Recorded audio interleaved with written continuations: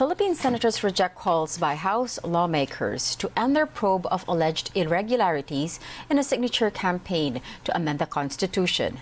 Senator Amy Marcos, the head of the Senate panel on electoral reform, says it is unclear if the signature campaign is still pushing through. She also urged the poll body to junk the signature forms they received. Marcos says her panel has uncovered sufficient evidence to show that people were deceived into joining the signature campaign. They should dismiss outright and uh, disregard all these uh, signatures that have already been submitted. Ang liwa-liwanag naman, hindi naintindihan ng tao. Talagang binola sila, may kinalaman sa ayuda. Commission on Elections Chairman George Garcia meanwhile says they cannot junk the signature forms they have received. But Garcia says the poll body can return them to the organizers of the campaign upon their request. Wala pong pinagkaiba yan doon sa nagpapatanggap sa inyo o nagpapareceive sa isang ahensya ng pamahalaan ng isang sulat. Hindi naman po pwedeng itapo namin yung sulat na yan sapagkat meron po kaming liability tungkol sa mga tinatanggap namin mga dokumento katulad po ng mga dokumentong yan. The Philippine House of Representatives welcomes the Senate's decision to finally work on amending the economic provisions of the Charter. House Speaker Martin Romualdez says their chamber is ready to collaborate with the Senate as they share a common goal to serve the Filipino people. Despite the development, the lower house is keeping its guard up. Resolution expressing unwavering solidarity and support to the leadership of the Honorable Speaker Ferdinand Martin Gomez Romualdez and the upholding the integrity and honor of the House of Representatives in the face of intense assault from the Senate in violation of the principle of the interparliamentary courtesy and undue interference in the performance of its legislative and constituent function. Of course, the magic number is uh, majority, uh, the Meanwhile, a former chairman of the House panel on constitutional amendments says the controversial People's Initiative will continue. We say that the roadblock is the Senate, and therefore uh, the solution is to remove that roadblock by, you know, specifying, proposing uh, that the amendment uh, should specify that instead of separate voting, should be joint voting when the Congress calls for constituent assembly. That's being weaponized by the Senate.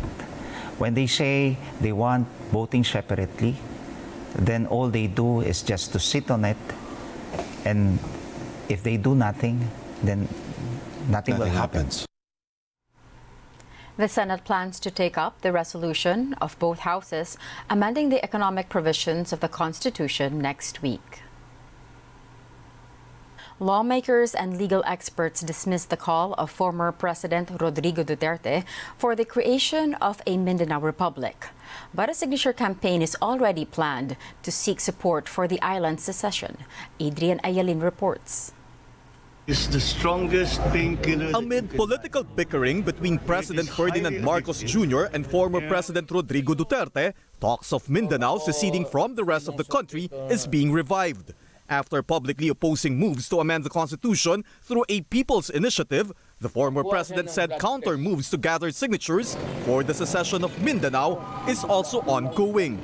The only reason na bakit kami talagang disappointed is ang pera ng bayan. Inuubos kung anong pinaggagawa. But of course, kung mag-separate independent to, at magpuntahan lahat dito ang Pilipino, then uh, uh, it, it, it's gonna be a big problem.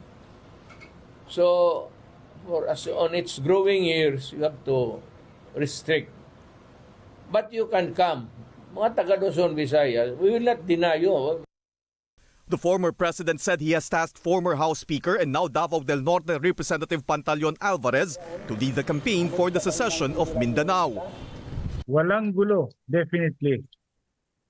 Ah, gagawin namin, kailangan kahit na mahirap gawin yung ikutan yung buong Mindanao para ipaliwanag sa lahat ng mga tiga Mindanao kung bakit namin ginagawa ito. But according to some law professors, secession of any part of the country is against the Constitution. Legally, we cannot declare uh, an area of the Philippines separate from the Republic of the Philippines. So yan is a crime no, against public order. very remote, talagang exceptional, kailangan pahintulutan ng bansa na may humiwalay sa kanya bago siya maging posible. Hindi siya legally possible under the Philippine Constitution. Another question arises Did the former president commit sedition or rebellion because of his secession statement? Technical kasi ang definition ng sedition sa revised penal code, ano siya, kailangan may force, uh, intimidation, yung ganong klase ng level ng uh, um, activity. Uh, kung ang level lang naman ng activity dito ay paggangalap ng signatures, uh, hindi siya mag-rise to that uh, level. He keeps on reiterating his call for secession and there are actually movements that would actively uh, seek the separation of Mindanao from the Philippines. I think it's already a crime. Some lawmakers from Mindanao registered their opposition to the proposal. With due respect to the former president, I think right now the last thing that we want is na magkagulo-gulo, magkawatak-watak ang ating bansa. But at least one Mindanaoan lawmaker is keeping an open mind. Hindi madaling gawin yan, ano, yung secession ng uh, island of Mindanao. But uh, it's also probably worthy to or worth it to look into it, no? Pag-aralan, tingnan natin kung ano ba yung benepisyo ng mga Mindanaoan dito. Commission on Elections Chairperson George Garcia refused to comment on the gathering of signatures for the secession of Mindanao, in the same way as signatures are gathered for charter change. Sa bandang huli po kasi ang susundin nating lahat, kahit ang COMELEC, ay ang ating Philippine Constitution. And therefore, uh, lahat ng mga pagbabago sa Philippine Constitution ay kinakailangang dumaan sa proseso. The Marcos administration, meantime, has yet to comment on the proposal of former President Duterte for a separate Mindanao. Adrian Ayalin, ABS-CBN News. Vice President Sara Duterte expresses her solidarity with President Ferdinand Marcos Jr. despite the verbal attacks of her father and brother against him. She also thanked Marcos for maintaining his trust and confidence in her. Her statement followed demands by her critics for her to resign as concurrent education secretary. The vice president says she respects the views of her father and brothers, even if she doesn't always agree with them. Ang paggalang ay isang natatanging asal na ipinakita ng Pangulo sa ating lahat. Kung kaya't galangin din sana natin ang opinyon at paniniwala ng ibang tao. Kasama na ang ating mga kamag-anak. May respeto ako sa mga pananaw at opinyon ni dating Pangulong Rodrigo Duterte, pati na ng aking mga kapatid. Ngunit katulad ng posisyon ko sa maraming mga isyu, hindi kailangan na sumasang-ayon ako sa lahat ng mga ito. Para sa akin, laging nangunguna ang katapatan ko sa paglilingkod sa bayan. Uunahin ko ang edukasyon ng ating kabataan at kapayapaan ng bayan. President Marcos earlier said he will keep the vice president as his education secretary, adding their relationship has not changed despite the rift with her family. Vice President Sara Duterte tagged as the creator of an anti-drug campaign that has been blamed for alleged extrajudicial killings in Davao City. Retired policeman Arturo Las Cañas claims the vice president was the brains behind the so-called Tokang anti-drug campaign in Davao when she was the city's mayor. Las Cañas had previously claimed he was a member of the notorious Davao Death Squad, which had been blamed for extrajudicial killings of suspected criminals. The vice president had previously denied any involvement in the vigilante groups. Hindi lang niya alam na yung ginagawa ng kanyang tatay na drug war, bogus drug war.